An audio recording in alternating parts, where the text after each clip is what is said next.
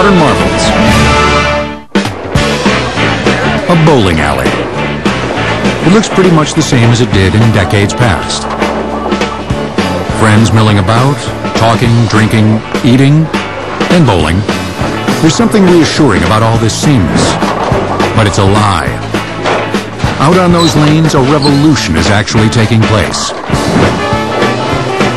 Over the last few decades, the number of perfect games bowled, a score of 300, has risen dramatically. The source of this runaway inflation? A ball is juiced. It won't bowl for you, but it'll make a good bowler a lot better. It's all about putting the ball into the pocket, the space between the head pin and either of the two pins right behind it. What you want the ball to do is actually make a turn towards the pocket. Now what they found is, is that a larger entry angle into the pocket actually creates the higher probability for creating strikes. As it enters into the pocket itself, the ball actually dances around the pins once it hits it, and it actually allows the ball a greater chance of being able to intermix into the pins, causing them to scatter around. The lane itself makes hooking the ball hard. The front two-thirds are coated in a layer of mineral oil. This protects the lane from ball impact, but diminishes a bowler's control. To make a ball that can roll straight through oil and then still hook sharply just as it gets to the pins, you need complex chemistry on the outside and sophisticated physics inside. You can think of a bowling ball as having a core and a shell. You can think of it just like the earth. It has a core in it. Uh, there are different layers of the core, and then there's the outer part, which we call the veneer. Prior to the 1980s, bowling balls had spherical, symmetrical cores that did little to help a bowler put hook on the ball. Since then, designers have developed solid asymmetrical cores placed at the center of the ball that have increasingly helped steer it. We can actually literally put a steering wheel inside of the bowling ball to get it to behave the way we want it to behave. But how do asymmetric cores help steer the ball? Depending on where the finger holes are drilled on the surface of the ball in relation to this core, a pro shop can reduce the spin for someone inclined to high revolutions and add more to a low spin bowler's ball. In addition, with each revolution of this ball, the core is altering the spin slightly so that a fresh part of the ball comes into contact with the oiled lane. You can see these lines here. These lines are oil. Every rotation is a different line. What that means is that as the ball goes down the lane, it's seeing a fresh surface. What you get is a ball that is very aggressive down the lane when it sees friction because down the lane it's dry, so it makes an aggressive move. In addition to steering, cores of different densities vary the weight of the balls, from 6 to 16 pounds.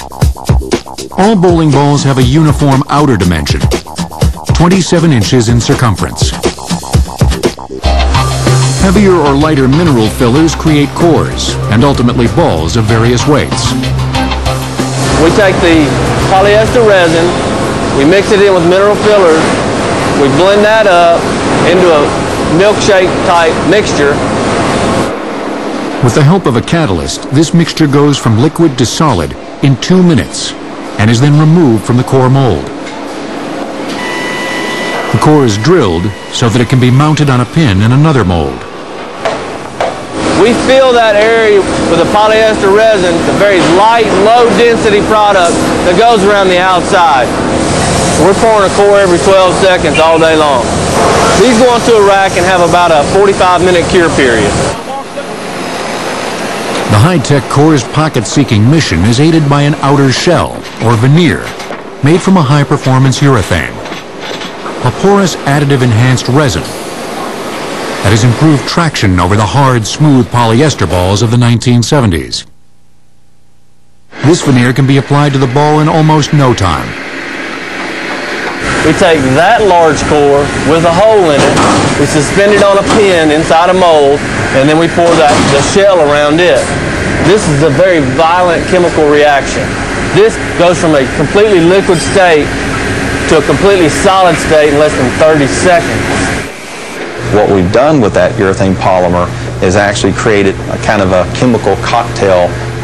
We actually can create a rigid, porous type material. So it's like a polymer sponge. So the ball soaks up oil as it cuts through it. As a result, it creates friction earlier and produces a sharper hook before reaching the pins. Once the veneer has been applied, the balls go into giant grinders that trim and smooth them to size. Logos are then etched and painted. Then the balls are given a sanding for a final finish. Not surprisingly, older bowling balls were fairly unsophisticated. Though bowling has ancient origins, the clearest antecedent is a German ritual called Kegel, which originated in the 4th century and used a stone ball. The modern form of the game moved indoors in the 19th century and featured the first manufactured bowling balls. Early on, bowling balls were made out of wood.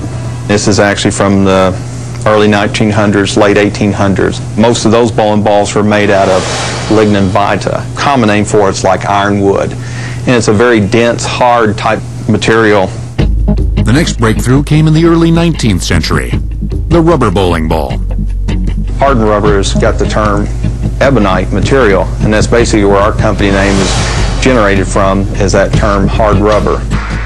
Over a hundred years old, the Ebonite Company has seen every advancement of ball technology. But just how much hook can enhanced physics and chemistry put on the ball? We've got an expert bowler, Chris Muldrow, who will throw two different balls exactly the same way. The difference in performance is in the balls.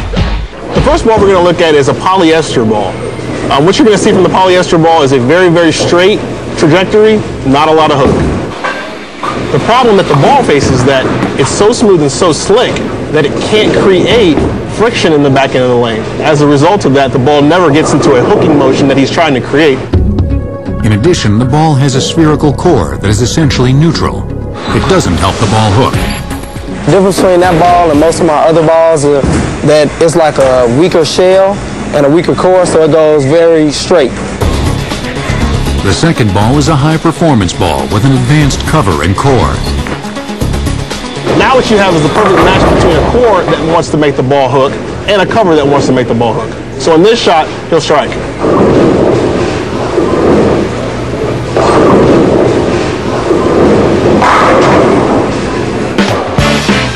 But no matter how much care goes into a bowling ball, there's always some guy who just has to do it his way.